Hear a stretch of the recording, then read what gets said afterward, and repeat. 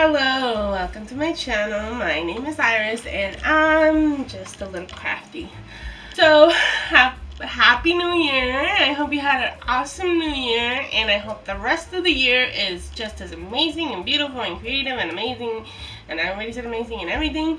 Tom's amazing and everything for you and your family and I hope you have an awesome life. I'm to show you and I'm to tell you why I decided to make a cute little piggy bank. So I started a new job and in this new job they sometimes, not always, but sometimes give me tips. I don't know if they're supposed to, but they do.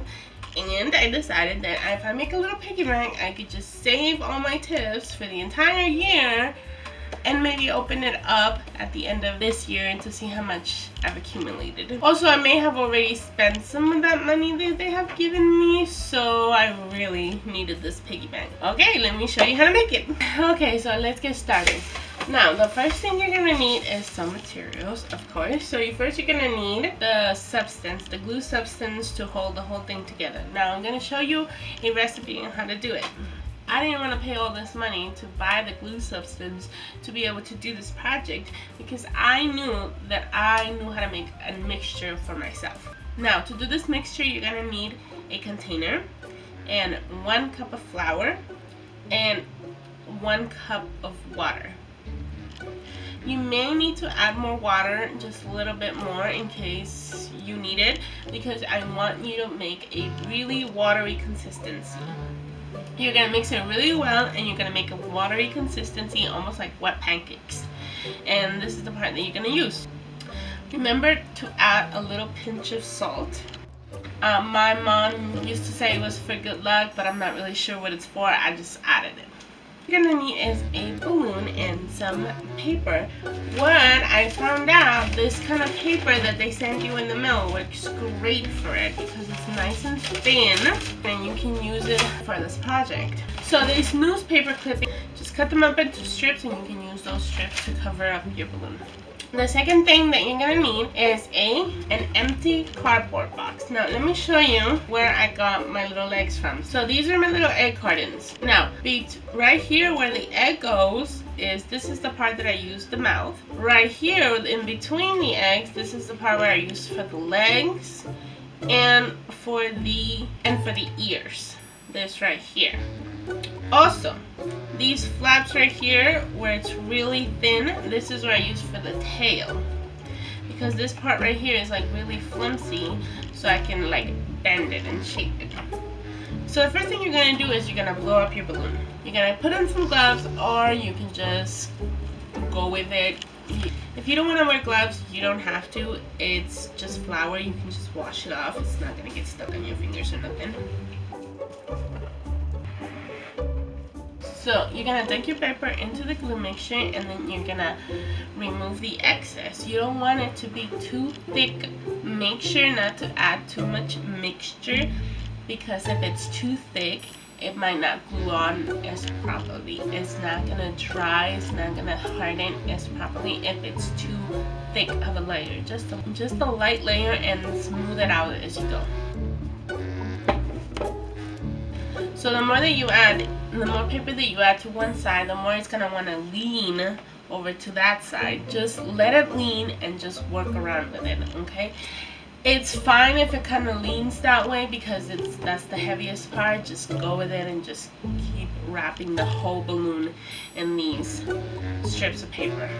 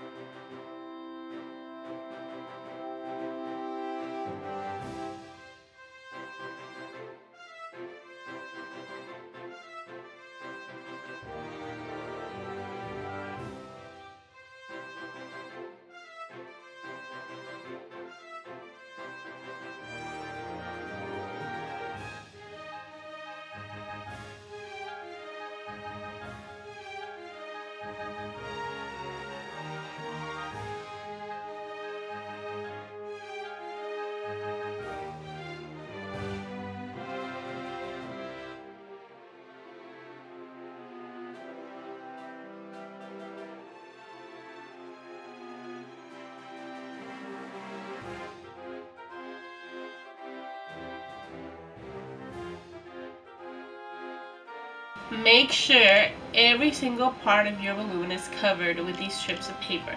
It's going to be a long, tedious project, but it's but make sure that you cover every single inch of that balloon because you don't want it to have holes.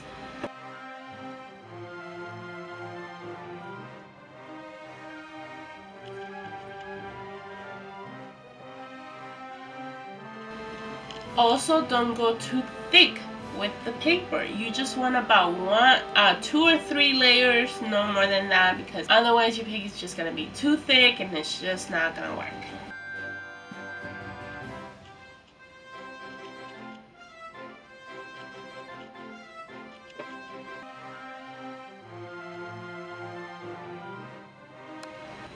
Okay, so now that we have our face and it's nice and hard, and you didn't leave it for three days by accident, now we can get into it. And the balloon should just like peel off.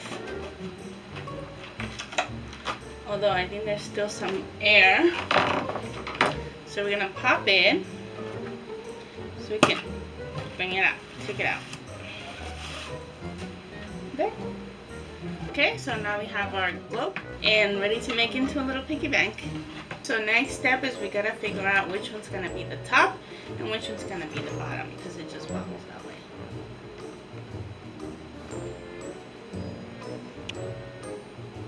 Okay, next. Okay, so now that we have cut up four little leggies, two little ears, and one little mouth, now we're ready to glue them on to our little base to form our little piggy shape. I'm going to be using the super glue all fix it adhesive because I feel like from all my glues that's the best one. But I'm also going to try to glue some of the parts with this one to see which one holds up better. Okay, I want to give you a better shot of this. This is my little piggy right here. And this is going to be my top. So, I'm going to go all the way to the bottom so we can know where to put our little spots right here. Right here. Okay, from here we're to adjust to see where we're to put our little feet.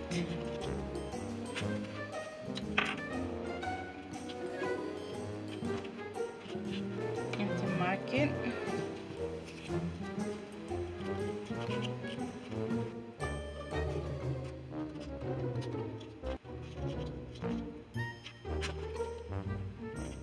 Okay, see, then we have our markings, so now we know where to glue. So I started this using the super glue adhesive because in my opinion I thought it was going to be better than the super glue. Unfortunately I had to tape it in order for it to stay but then it still didn't dry when it was supposed to have dried and then I just removed it and then used the school glue. Put plenty of glue around the edges to reinforce it because you don't want it to break. My legs look a little crooked, but let's see if it will stand up. Ah! it stands up. the legs are a little crooked, but it looks good. It stands up. Mm. Okay, now we're to add the little ears right here. So you can look like a cute little piggy. Of course, it's school glue because I found out the other glue does not work. Are my ears a little too big? How, how big are pig ears? A little too big. Okay, so look at that. Looks like a real piggy now. So now all we have to do is add the little nose. With the little mouth. Look at that. Isn't that going to be so cute? And I accidentally ripped it a little bit right here so that's gonna be my opening. I'm just gonna extend that. And although it's still needing a little pigtail I don't know if we can do that.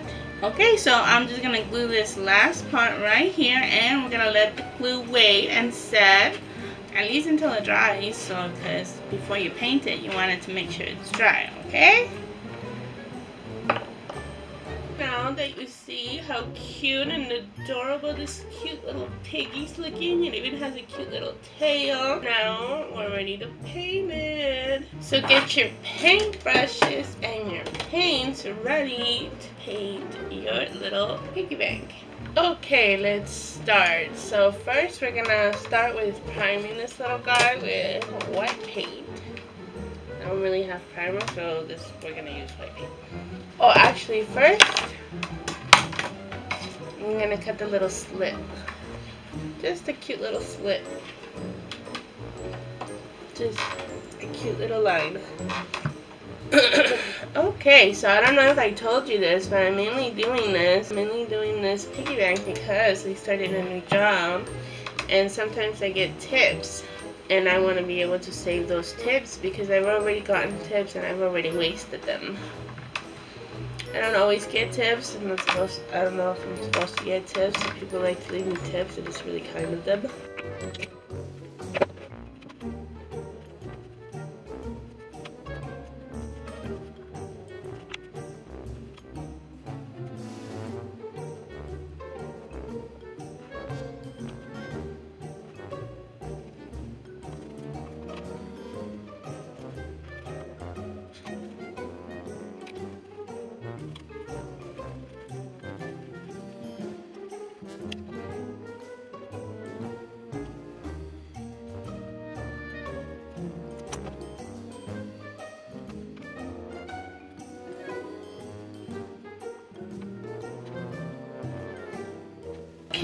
And there it is. So we're just gonna wait for it to dry, and then we're gonna move it to the paint station so we can finish painting it and giving it its cute little colors. And I'll meet you right back when it's all nice and painted.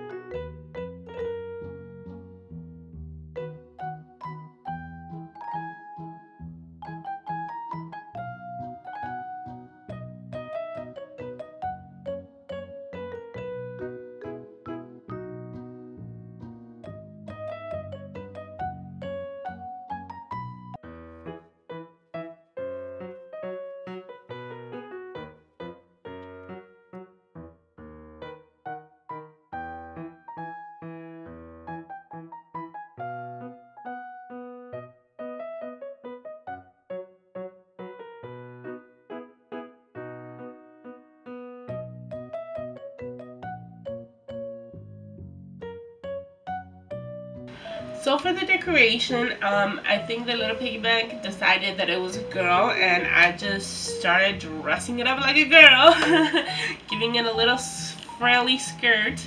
So for the design itself, I just added it in flowers. I added flowers and then I added leaves and a little bit of vines here and there, some different shapes that I can come up with. I mainly stayed in the color scheme of red, yellow, and orange. So I made the whole thing red, yellow, and orange.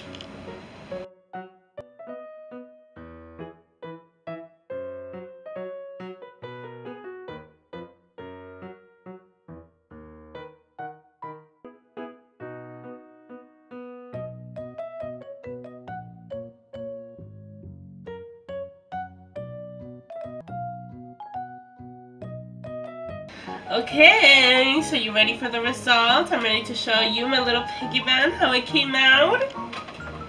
Okay, here it is, my little piggy bank. Isn't it so cute and precious? Like I said, these are the ears, and I cut them in halves, and I put one in one.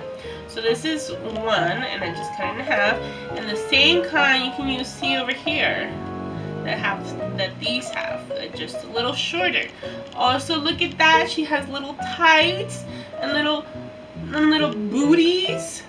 And isn't she so adorable? I don't know her name yet. She hasn't told me her name yet but she's a cute little adorable little piggy and I love her so much. And I'm really I mean my channel name is just a little crafty so I'm just a little crafty and I'm not really that artistic but I think I did my best here.